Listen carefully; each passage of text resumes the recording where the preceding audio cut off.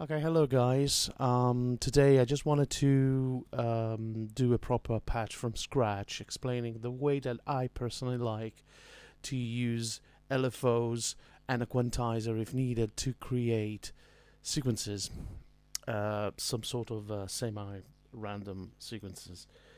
So basically the first thing I like to do is to have control over the tempo, so I'm going to use either a clock generator like this or an LFO like this to get a main uh, beat, a main tempo.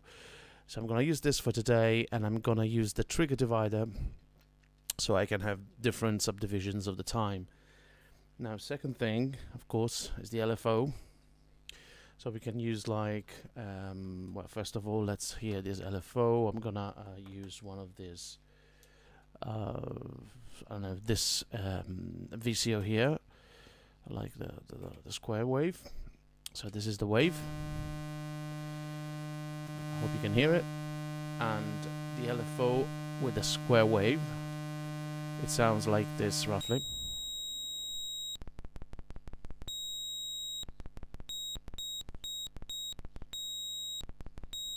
It's a very high pitched. It's just uh, up and down. Very, very boring. So uh, first of all, what I want to do with this LFO is to be able, since this is resettable, I want to reset. So I will sync it, kind of sync it to the original tempo. I'm going to use this subdivision here.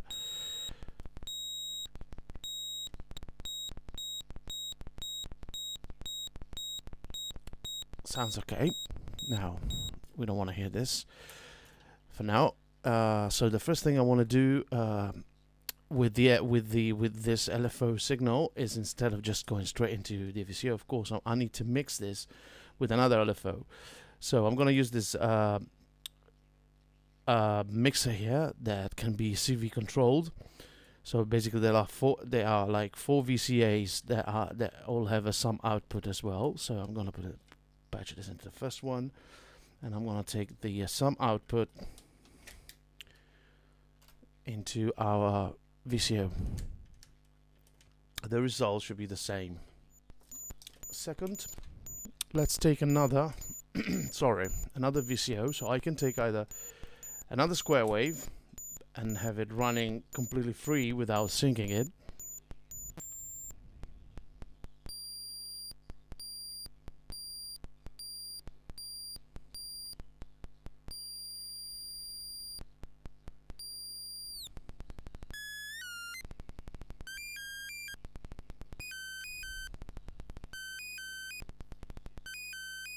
We have already a sort of sequence. The fun is to find the right sweet spot. Doesn't sound good at all anyway. So I want to take this. First of all, let's quantize it.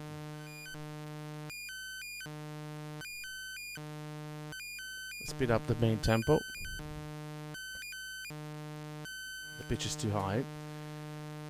So what I want to do is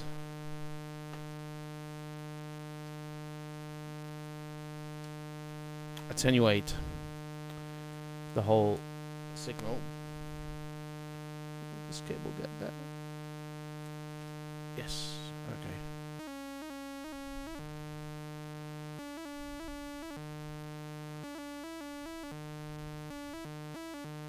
So when the the two LFOs uh, go both down below zero, uh, you basically hear the main um, tuning the main note of the, of the of the VCO before it gets modulated.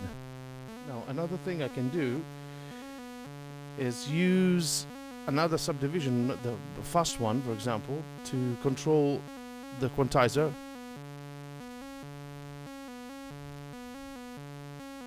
So it quantizes the tempo as well. You can hear is more more more accurate in terms of how uh, when the notes come in.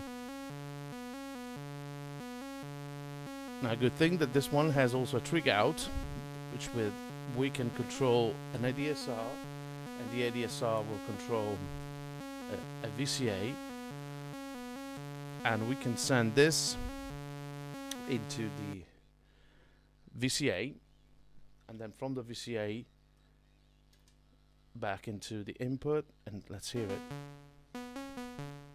Right, now the trigger out of the quantizer is controlling the ADSR. And now it's much more easier to fiddle with the with the knobs here.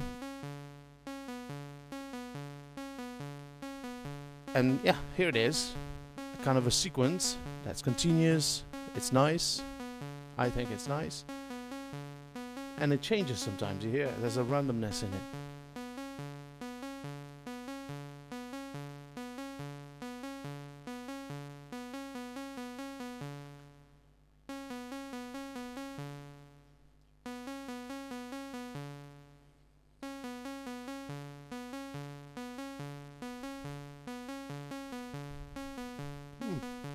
Not bad.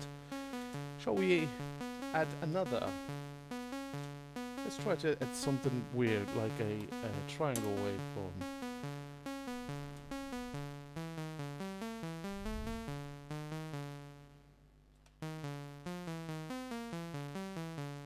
The triangle doesn't um,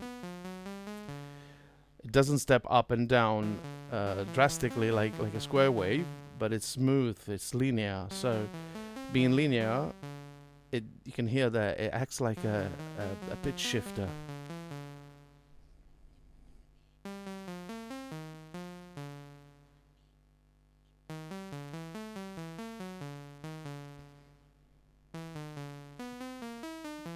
If we use another, um, this is a square wave again.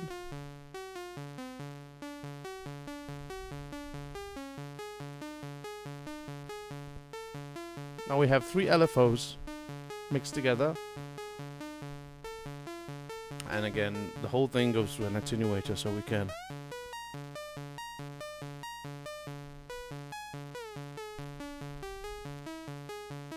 we can regulate the range of the pitch from very very low.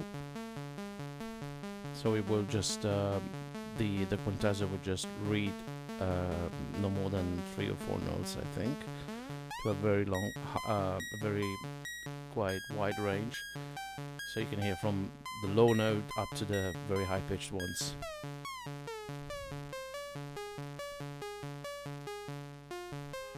Very interesting, and you can change the sequence and get something really new and unexpected uh, just uh, by tweaking the knobs.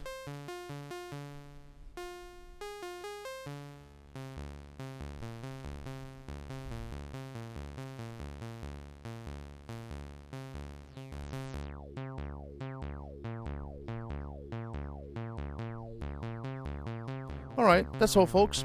Thank you for watching.